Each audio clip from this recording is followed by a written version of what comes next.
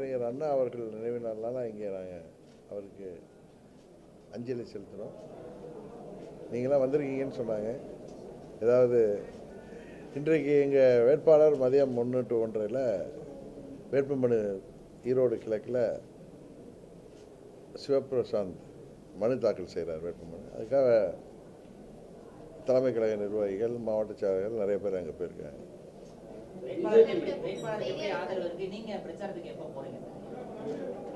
இப்போ இன்றைக்கு நாமினேஷன் முடிஞ்சதும் இப்போ எங்கள் துணை பொதுச் மற்ற நிர்வாகிகள்லாம் இன்றைக்கி அண்ணா பேரறிஞர் அண்ணா நினைவு நாள்லாம் இங்கே இருந்தாங்க எல்லாமே நான் இன்றைக்கு அங்கே கிளம்பி போயிடுறாங்க.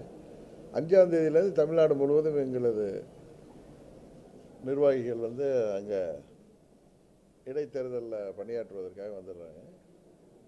என்னை வந்து பத்தாம் தேதிக்கு மேலே அவங்க எனக்கு ப்ரோக்ராம் ஃபிக்ஸ் பண்ணி சொல்கிறேன்ட்டு இருக்காங்க அதுக்கப்புறம் நான் போகிறேன் சார் டெல்லியில இருந்து இப்போ அண்ணாமலை போயிருந்தாரு. இன்னைக்கு வந்து ஓ பன்னீர்செல்வம் மற்றும் எடப்பாடி பழனிசாமி சந்திச்சு அவங்க பேசினாங்க. தொடர்ந்து வந்து பார்த்தீங்கன்னா இப்போ அவங்க என்ன சொல்லியிருக்காங்கன்னா ரெண்டு பேரும் இணைந்து தேர்தலை சந்திக்க வரும் அப்படின்னு சொல்லி சொல்லியிருக்காங்க. அவங்க ஃப்ரீயான நிலைப்பாடு வந்து ரெண்டு பேரும் என்ன சொல்லியிருக்காங்க? இல்ல ரெண்டு பேரையும் சந்திச்சிருக்காங்க. இது வரைக்கும் ஏழாம் தேதி வரைக்கும் பிணக்கப்பட்ட மாதிரி சொல்லியிருக்காங்க. பிஜேபி ரெண்டு பேருமே இபிஎஸ் ஓபிஎஸ் ரெண்டு பேருமே சேர்ந்து போட்டியிடணும் திமுக எதிர்த்து அப்படிங்கிறத அவங்க விருப்பம்னு சொல்லியிருக்கிறாங்க. அதாவது தீய சக்தி திமுக ஒரு சிலரோட சுயநலத்தால் பதவி வெறியால் பண திமிர்னால தான் ரெண்டாயிரத்தி இருபத்தி ஒன்றில் ஆட்சி பொறுப்புக்கு வர முடிஞ்சதுன்னு உங்களுக்கு தெரியும். அந்த நேரத்தில் திமுக ஆட்சிக்கு வந்துவிடக்கூடாது என்பதற்காக நான் தேர்தலில் கூட போட்டியிடலை. அம்மா மக்கள் முன்னேற்ற கழகத்தைச் சேர்ந்தவர்களுக்கு நாற்பது பேருக்கு வாய்ப்பு கொடுத்தால் கூட போதும் அந்த கூட்டணியில்னு சொல்லி நான் என்னிடம் பேசியவர்களிடம் நான் சொல்லியிருந்தேன். அது யாரால் நின்றது என்பது உங்களுக்கு தெரியும். இன்றைக்கு தீய சக்தி திமுக மக்கள் என்ன பண்ணிட்டாங்க? பிஜேபி கூட்டணி அதாவது பழனிசாமி ஆட்சியில் மிகுந்த கோபம் மக்கள் திமுக தெரிஞ்சிருக்குன்னு ஆட்சி பொறுப்பை கொடுத்துட்டாங்க. தேர்தல் வாக்குறுதிகளில் திமுக என்னெல்லாம் சொன்னாங்களோ அதெல்லாம் செய்யவே இல்லை.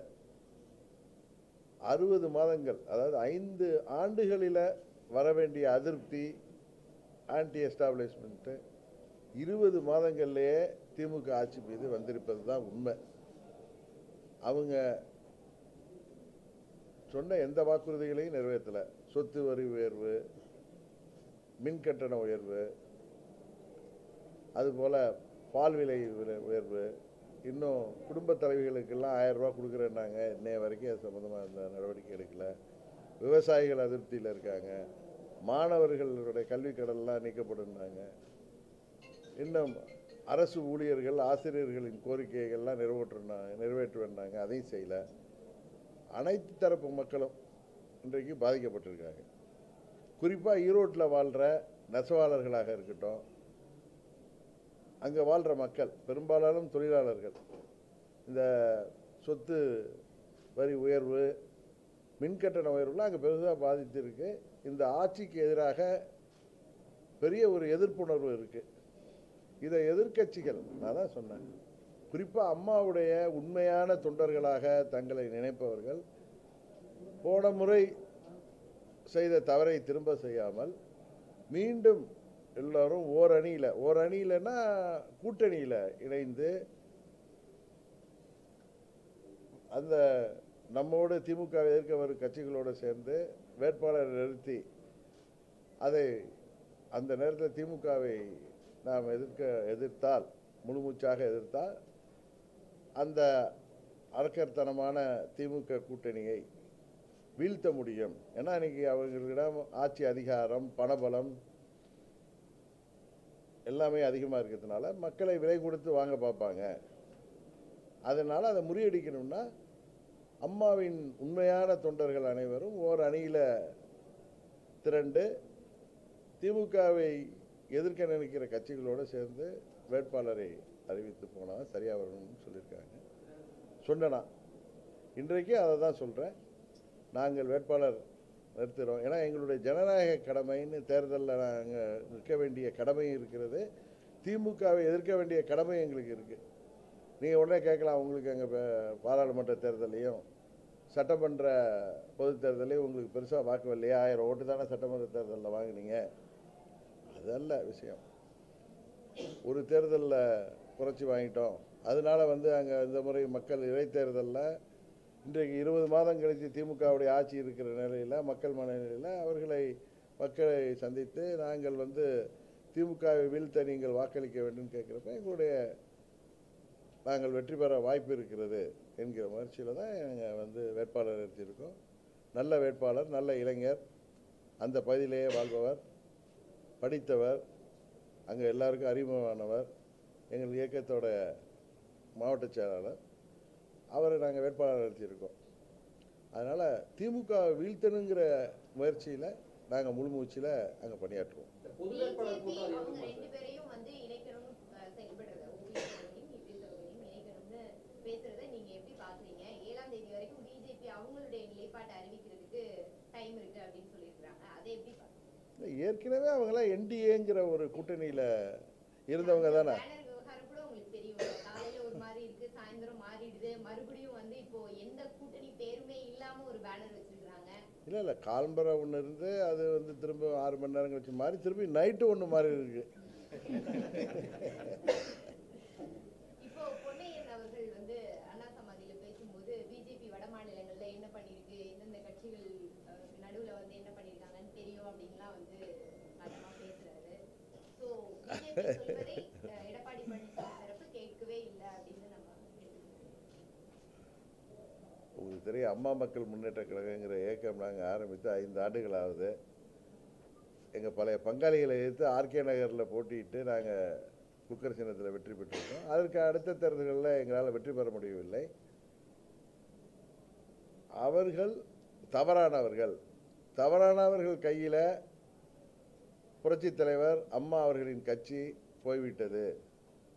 பிஎஸ் வீரப்பா கையிலேயும் எம்என் நம்பியார் கையிலையும் எப்படி குக்கர் இது இரட்டைலை சின்னம் போய்விட்டது. அந்த சின்னத்தை அங்கே இருக்கிறதுனால நம்பி இருக்கிற உண்மையான அம்மாவின் தொண்டர்கள் ஏமாறாதீர்கள் அப்படின்னு தான் நாங்கள் அம்மாவுடைய ஆட்சியை உண்மையான ஆட்சியை கொண்டு வரணும்னா அது அம்மாவின் உண்மையான தொண்டர்களாகிய அம்மா மக்கள் முன்னேற்ற கழகத்தால் தான் முடியும். அம்மாவின் கொள்கைகளையும் லட்சியங்களையும் தொடர்ந்து எடுத்து செல்ல அம்மா மக்கள் முன்னேற்ற கழகத்தால் தான் முடியும். அதனால் எங்களோடு அவர்கள் வருவார்கள் என்று தான் நாங்கள் தொடர்ந்து செயல்பட்டுருக்கோம் எங்களுக்கு நம்பிக்கை இருக்கிறது.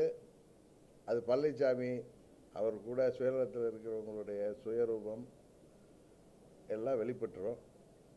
காலம் அதான் அன்னைக்கே சொன்னேன். காலம் இதற்கெல்லாம் ஒரு நல்ல தீர்வை கொடுக்கும்.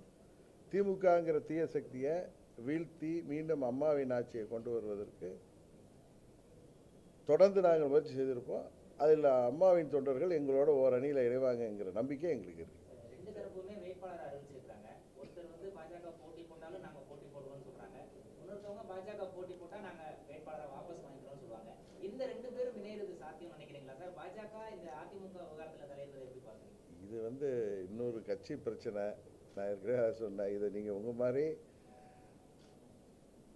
ஜேர்னலிஸ்ட் அது மாதிரி பொலிட்டிக்கல் அனலிஸ்ட் தான் இதெல்லாம் சொல்ல முடியுமே தவிர நான் வந்து ஜோசியம் சொல்கிற அளவுக்கோ இல்லை இது இப்படி போகும் அப்படி போகும்னு சொல்கிற அளவுக்கு நான் ஒரு பெரிய அரசியல் தலைவரும் கிடையாது. ஒரு சாதாரண அரசியல்வாதி. தேர்தல் நேரத்தில் ஒரு மாற்றம் வந்து ஒரு புது வேட்பாளர் நிறுத்தப்பட்டால் வந்து நீங்கள் ஆதரிப்பீங்களா? உங்கள் வேட்பாளர் வாபஸ் வாங்கிட்டு ஒரு புது வேட்பாளர் ஆதரிப்பீங்களா இங்கே எங்கள் வேட்பாளரே பொது வேட்பாளராக இருக்கலாமே. நல்ல இளைஞர். அங்கே தொகுதியிலேயே பிறந்து அங்கேயே வளர்ந்து படித்த இளைஞர். இன்னும் நீங்கள் சொல்கிறது கரெக்டு திமுக வீழ்த்தணும்னா எல்லாம் ஓரணியில் திரண்டு எதிர்க்கட்சிகள்லாம் ஒரு பொது வேட்பாளர் இடத்துல நல்ல யோசனை தான். அது எப்படி வருதுன்னு பார்ப்போம். அதுக்கப்புறம் நம்ம அதை பற்றி பேசுவோம். இல்லை. முதல்ல எதுவுமே இன்னும் கல்யாணமே ஆகலை. அதுக்குள்ளே பிள்ளைக்கு பேர் வைக்கிற கதையாக நீங்கள் பேசாதீங்க. இது வந்து நாங்கள் முடிவெடுத்து திமுகவை எதிர்க்கணும் அப்படிங்கிறத எங்கள் வேட்பாளர் இருபத்தி ஏழாம் தேதி அறிவித்து எல்லாம் அங்கே இன்றைக்கு கட்சி அலுவலகம் கூட தேர்தல் அலுவலகம் கூட திறந்துட்டாங்க. எங்கள் நிர்வாகிகள்லாம் போய் அங்கே ஆல்மோஸ்ட் அந்த மண்டலத்தில் உள்ளவங்களாம் இறங்கிட்டாங்க. தேர்தல் பணி ஆரம்பிச்சிட்டோம். அஞ்சாம் தேதியிலேருந்து முழு வீச்சில் தேர்தல் பணி நடக்கும். அதனால் எப்படி போகுதுன்னு பார்ப்போம் அவசரப்படக்கூடாது. நம்ம வந்து ஏன்னா ஏழாம் தேதி இல்லை பத்தாம் தேதி வரைக்கும் இது நிலைமைகள்லாம் எப்படி மாறுன்னு தெரியாது. பேனர் வச்சவங்க பேனர் எடுக்கிறவங்க இவங்கெல்லாம் எப்படி முடிவு எடுக்கிறாங்க அப்படின்னு தெரியாது நம்மளுக்கு. ஏன் நாங்கள் வந்து மற்றவங்க மாதிரி வீம்புக்காகவோ அகங்காரத்திலேயோ ஆணவத்திலேயோ இருக்கிற கட்சி கிடையாது. அம்மா மக்கள் முன்னேற்ற கழகம். யதார்த்தத்தை உணர்ந்தவர்கள். நல்ல ஒரு முயற்சி திமுகவை வீழ்த்த எடுக்கப்பட்டால் அதற்கு நாங்களும் அதை பற்றி யோசிப்போம் இல்லை எல்லா எதிர்க்கட்சிகளும் சேர்ந்து ஒரு பொது வேட்பாளரை அறிவிக்கிறாங்கன்னு அறிவிக்கிற வாய்ப்பு இருக்குங்கிற மாதிரி சகோதரர் சொன்னதுனால சொல்கிறேன் எனக்கு அது தெரியல. அது மாதிரிலாம் ஒரு வாய்ப்பு இருக்குமான்னு. எல்லா எதிர்க்கட்சிகளும் சேர்ந்து திமுக கூட்டணியை எதிர்த்து திமுகவை வீழ்த்த ஒரு வேட்பாளர் நிறுத்துவது என்பது ஒரு நல்ல ஒரு திங்கிங் நல்ல ஒரு ஐடியா தான். அது மாதிரி ஒரு ஐடியாலாம் ஃபைனலைஸ் ஆகி வர்றதுக்கு அப்புறம் நம்ம அதை பற்றி நம்ம பேசலாமே தவிர அவசரப்பட்டு நம்ம எதுவும் சொல்ல வேணாம்னு நினைக்கிறேன். ஆனால் நாங்கள் தேர்தலில் போட்டியிடுறது இன்னும் ரேட்டில் ஸ்ட்ராங்காக இருக்கும் தேர்தலுக்கு இன்னும் குறைவான காலம் தான் இருக்கு ம். மறைந்த முதலமைச்சருடைய தொண்டர்கள் எல்லாரும் ஒண்ணு சேரணுன்றதுதான் உங்களுடைய கருத்தும் ஓ பன்னீர்செல்வத்துடைய கருத்தும் அதை அடிக்கடி சொல்லிட்டே இருக்கிறாரு இந்த சந்திப்புக்கான பேச்சுவார்த்தை தொடங்கியிருக்கா இல்ல சந்திக்கிறதுக்கான வாய்ப்புகள் இருக்கா ஏன் தேர்தல் இன்னும் அஹ், விரைவில் வர இருக்கு ஒன்று போடணும்னு பேசிட்டு இருக்கிறவங்க சந்திப்புக்கான அடுத்த கட்ட நடவடிக்கையை எடுப்பீங்களா யார்? திரு பன்னீர்செல்வம் நானுமா?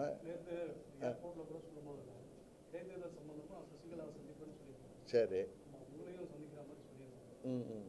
அவர் என்ன சொல்லியிருந்தாருன்னு நான் தொலைக்காட்சியில் பார்த்தேன்னா நான் ரெண்டு நாள் ஊரில் இல்லை நேற்று பார்த்தேன். அவர் வந்து தனி கட்சி ஆரம்பிச்சிட்டாரு. அவரை கம்பல் பண்ணக்கூடாது. அவர் சொன்னார்னா நாங்கள் கூடி பேசிக்கிற வாய்ப்பு இருக்குன்னு சொல்லியிருக்காரு. அவருக்கு என்னை பற்றி நல்லா தெரியும். நான் பழனிசாமி மாதிரிலாம் உச்சி கோபுரத்தில் ஏறி உட்காந்துக்கிற ஆள் கிடையாதுன்னு யதார்த்தம் எதுவோ அதை உணர்ந்தவன். உண்மையிலேயே அவர்கள் இதுபோல் ஒரு விரு விருப்பத்தில் இருக்கிற பட்சத்தில் நாங்களும் திறந்த மனதோடு இருக்கோம். நாங்களும் பேச தயாராக இருப்பார் இந்த கோர்ட் கேஸ் இப்போ வந்து இன்னைக்கு இது இப்போ நேத்து சொல்லியிருந்தாங்க அதாவது எலெக்ஷன் கமிஷன் விளக்கம் கொடுத்துருக்காங்க அதுக்கு அதிமுக சார்பாக எதிர்ப்பு தெரிவிச்சிருக்காங்க அதாவது இப்போ சசிகலாவை வந்து பார்த்தீங்கன்னா அவங்க வந்து இது பண்ணிட்டாங்க பட் பன்னீர்செல்வத்துடைய பேரை மட்டும் இதில் வச்சு எலெக்ஷன் கமிஷன் ஸ்டாண்ட் வந்து ஏற்றுக்கொள்ள முடியாது அப்படின்னு சொல்லி சொல்லியிருக்காங்க எனக்கு புரியலையே அது இல்ல எலெக்ஷன் கமிஷன் சொல்லியிருந்தாங்க அதாவது வந்து பார்த்தீங்கன்னா இப்போ எடப்பாடி பழனிசாமி அந்த இவங்க பேர்ல தான் வந்து கட்சி இப்போதைக்கு இருக்கு அப்படின்னு சொல்லி எலெக்ஷன் கமிஷன் சொல்லியிருந்தாங்க அதை வந்து ஏற்க முடியாதுன்னு சொல்லி இப்போ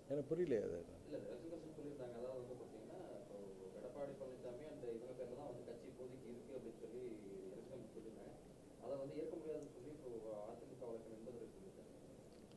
அதாவது எனக்கு தெரிஞ்சவரை ரெண்டாயிரத்தி பதினேழு பொதுக்குழு தீர்மானத்தை தான் நாங்கள் ஏற்று கேஸ் போட்டிருந்தாலும் அதை ஏற்றுக்கிட்டு தேர்தல் ஆணையம் ரெண்டாயிரத்தி பதினேழு நவம்பர் இருபத்தி மூன்று அன்னைக்கு நாங்கள் வந்து அதிமுகவை உரிமை கூறக்கூடாது அந்த பெயரை பயன்படுத்தக்கூடாது. அது வந்து பன்னீர்செல்வம் எடப்பாடி பழனிசாமி மதுசூரன் அணிக்கு. அவங்க ஒருங்கிணைப்பாளர் பன்னீர்செல்வம் இணை ஒருங்கிணைப்பாளர் பழனிசாமிங்கிற ஒரு நிலைப்பாடை தேர்தல் ஆணையம் எடுத்து அதுக்கப்புறம் தான் நடந்துச்சு.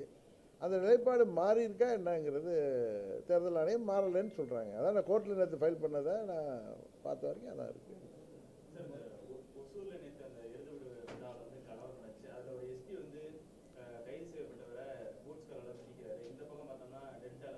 அது மாதிரி தீபாவளி இப்போ பொங்கலுக்கு ஐயாயிரம் ரூபா கொடுக்கணும்னு சொன்னார் எதிர்க்கட்சியாக இருந்தப்ப. அது மாதிரி அவர் சொன்னது எதையுமே காற்றில் பறக்க விட்டார். இன்னும் சொல்லப்போனால் தமிழ்நாடு பெரிய நிதி நெருக்கடியில் தத்தளிக்கிற நேரத்தில் நான் ஏற்கனவே சொல்லியிருக்கேன் அதை தான் திரும்ப சொல்கிறேன் அவங்க வேணால் திமுகவில் நிறையா நிதி வச்சுருக்காங்க. ஏன்னா பார்த்தீங்கன்னா கம்யூனிஸ்ட் கட்சிகளுக்கு பதினஞ்சு கோடி பத்து கோடின்னு செக்கில் கொடுத்தவங்க.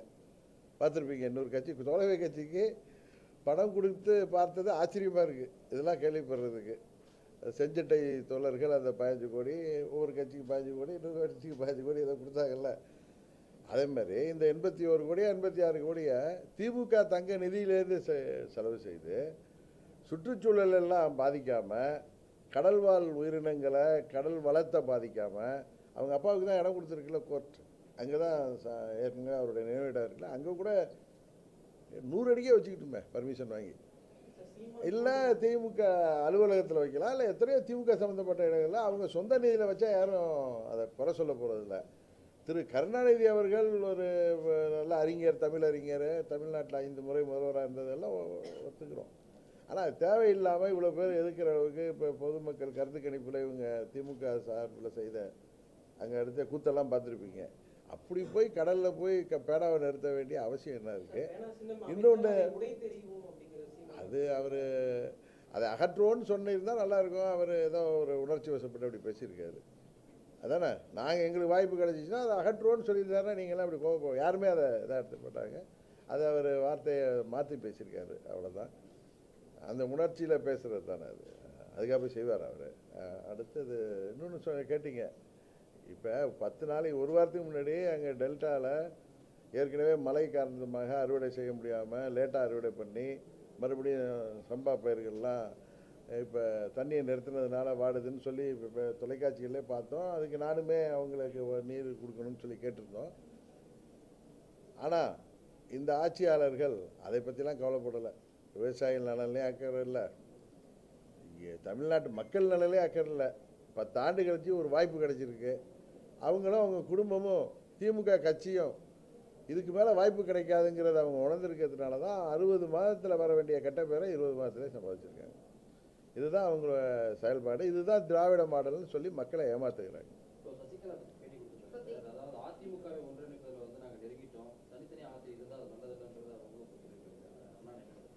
சரி அவங்க கருத்து. அதை பற்றி நான் அவங்க அதிமுக பொதுச்செயலாளராக கிளைம் பண்ணுறாங்க கிளைம் பண்ணுறவங்க சொல்கிறது நான் அவங்க கருத்தை போய் நான் என்ன சொல்ல முடியும்?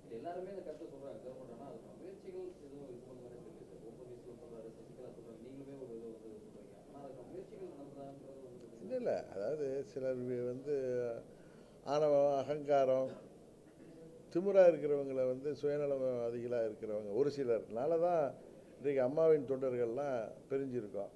இது சேரணும்னு சொன்னால் இவர் வீக்காக இருக்கார் அதனால சொல்கிறாருன்னு சொல்கிறாங்க அப்படி கிடையாது. எங்களை வேணான்னு சொன்னாங்க. ஆட்சி பொறுப்பு கரம்பிடிச்சிச்சு அவங்களால. நாங்கள் வந்து அவங்க ஆட்சிக்கு வரக்கூடாதுன்னு இல்லை நாங்கள் தயாராக இருந்தோம். நான் தேர்தலில் போட்டி விட கூட தயாராக தேவையில்லைன்னு இருந்தேன். ஆனால் அவங்க எதையும் ஒத்துக்கலையே. அவர்கள் வந்து இப்போ நல்லா பார்த்தீங்கன்னா அவர் வந்து இன்றைக்கி திமுக இந்த தேர்தலில் தைரியமாக நிற்கிறதுக்கு காரணமாக இருக்கிறதே திரு பழனிசாமியுடைய இந்த ஆணவ போக்கு தான் யாரையும் ஒன்று சேர விடமாக ஆ? அவர் பலமா இருக்கிறத கருதுறாரு சும்மா பலமாக எதுக்கு இத்தனை பேரை பேனரை மாற்றிக்கிட்டு இருக்காரு? ஒரு பலசாலி. நேற்று மூணு பேனர் மாற்றுவாங்களா இது இதெல்லாம் இது பலம். சும்மா அதான் சொல்கிறேன் ஆணவம் அகங்காரத்தை நிற்கிறாரு இது கா இது தமிழ்நாட்டு மக்களும் அம்மாவுடைய உண்மையான தொண்டர்களும் பதில் சொல்கிற காலம் வரும். ஆமாம் இப்போ திரு பன்னீர்செல்வம் தான் அவர் தவறெல்லாம் உணர்ந்து எல்லாரும் ஒன்றாகணும்னு சொல்கிறாரு இன்னொன்று ஒருங்கிணைப்பாளராக நான் கையெழுத்திட தயாராக இருக்கேன்னு சொல்கிறாரு அவர் ஒன்றும் சண்டை போடலையே. இவர் தானே அவரை வலுக்கட்டாயம் வெளியேற்றினார்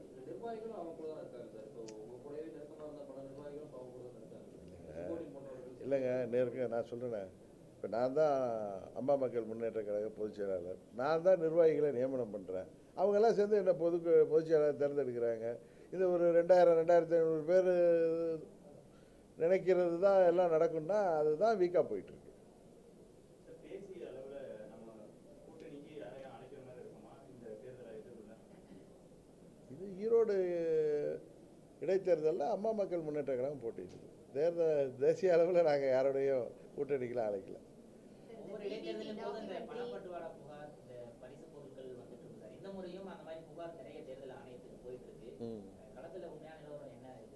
இல்லை திமுக அதான் திரு அமைச்சர் நேரு பேசுகிறது தான் உங்கள் மைக்கிலே ரெக்கார்ட் ஆகி வந்திருக்க. அவங்க அதை தான் பறிச்சு செய்வாங்க அவங்க பணம் முன்ன ஆர்கே நகரில் இவங்க ஆறாயிரம் ரூபா கொடுத்தாங்கல்ல அதை தாண்டி எட்டாயிரம் ரூபா கொடுக்குறதா அவங்க எட்டாயிரம் பத்தாயிரம் வரைக்கும் கொடுத்து எப்படியாவது வெற்றி பெறணும். இந்த கெட்ட பேர்லாம் இல்லைன்னு காமிக்கிறதுக்காக அவங்க முழு மூச்சில் இறங்கியிருக்காங்கங்கிறது தான் அங்கே உள்ள மக்கள் சொல்கிற தகவல்.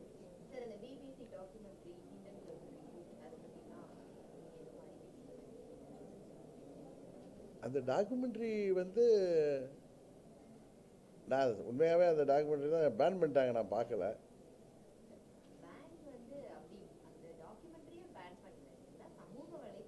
அதை வந்து அது பேன் தான் இங்கே வர நம்ம நம்ம பார்க்குற நான் உண்மையாகவே அதை நான் நான்லாம் பார்க்கல என்னன்ட்டு. மத்திய அரசாங்கம் அதை ஏன் தடை செஞ்சுருக்கிறது சரியா தவறான்னு கேட்குறீங்க அதானே? அதை தானே நம்ம கேட்குறீங்க நான் பண்ணல. அப்புறம் என்ன அதில் என்ன ப்ராப்ளம் உண்மையாக நான் நான் பெருசாக கவனிக்கல நீங்கள் உண்மை என்ன நடந்துச்சுன்னு சொல்லுங்கள்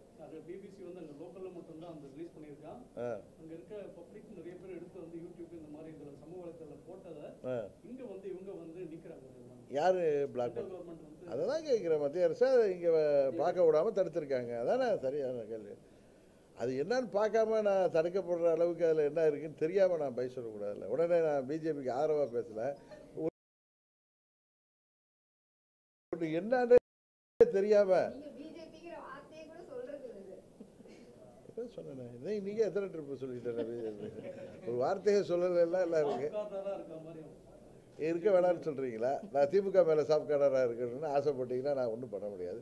திமுகவை எதிர்ப்பதற்கு அவங்க திமுக எதிர்ப்பதற்கு தயாராக உள்ள அச்ச அத்தனை கட்சிகள் மீது எனக்கு சாஃப்ட் கார்டர் உண்டு.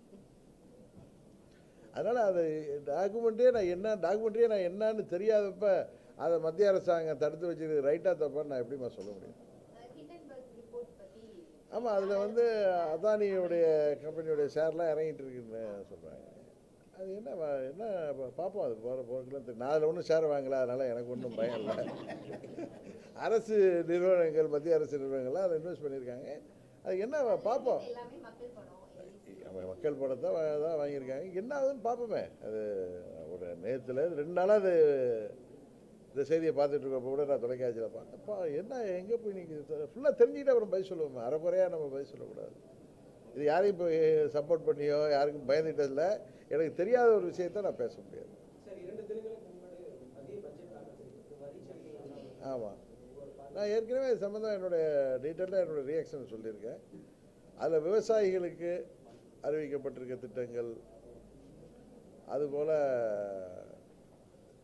அதே நேரத்தில் நெல்லுக்கு சரியான கொள்முதல் விலை வரலங்கிறது ஏமாற்றமாக இருக்குன்னு சொல்லியிருக்கேன். இன்னும் வேலை வாய்ப்புகள் நிறையா வேலை வாய்ப்புகளுக்கான